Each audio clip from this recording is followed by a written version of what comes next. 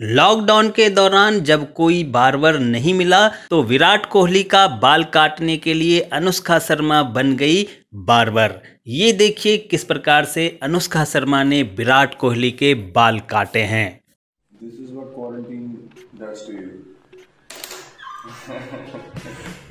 You. Allow things like